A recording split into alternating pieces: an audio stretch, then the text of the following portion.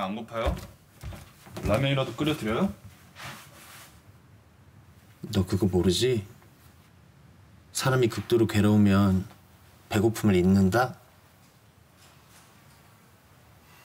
종수는 오늘도 되게 늦네. 되게 재밌나 봐. 재밌을 거야. 재밌겠지? 재밌을 거야. 혼자 끙끙거리지 말고 전화하세요. 미안하다고 주리 씨한테. 형 그분한테 더 마음 있는 거 아니에요? 응, 맞아. 난 주리 씨가 좋아. 근데 왜 그땐 왜 그렇게 내가 판단이 안 섰을까?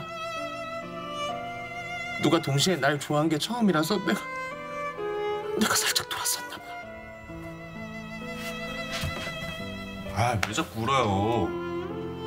안 울어. 울긴 누가 울어?